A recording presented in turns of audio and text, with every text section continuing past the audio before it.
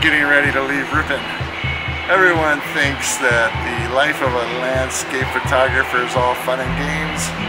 It is 12.35 at night, a little after midnight, heading up to Yosemite. We're going to be chasing a lunar eclipse and uh, tonight's the super moon, so hopefully that'll come out good and we'll see what happens.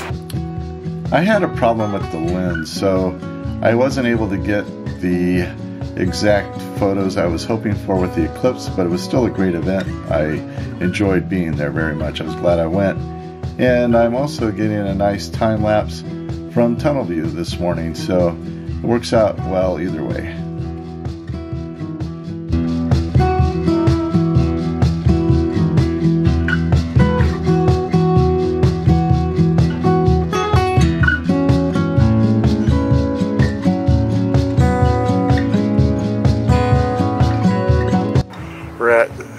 The Sentinel Bridge parking lot in Yosemite and trying to get some photographs of the upper Yosemite Falls. Morning time here, the sun comes in and creates a little bit of a rainbow um, on the upper falls, kind of at the base of it. And so it had a little bit of a color this morning, so as we're driving past, so stopped in, tried to get some photos of it. See how those come out.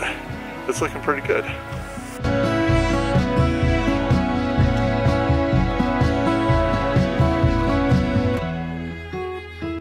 So I'm here at a little turnout, uh, just getting ready to leave Yosemite.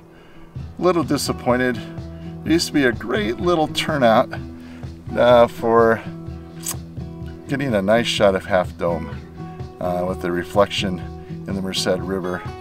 And they've taken the access to that away, so wasn't able to go there today.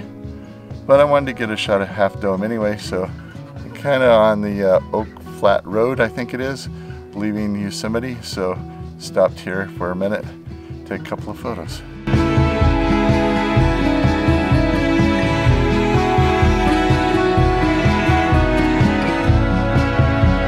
We're outside of Yosemite now, a little viewpoint uh, overlooking where the rim fire was, well quite a bit of it, and it's quite a bit of devastation and it's really tragic.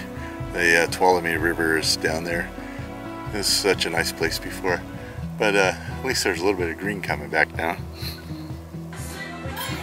Well, we stopped at one of my favorite places to eat on our way home. House of Beef in Oakdale, California. So I got the tri-tip platter with shrimp. I'm gonna try that, it looks pretty good.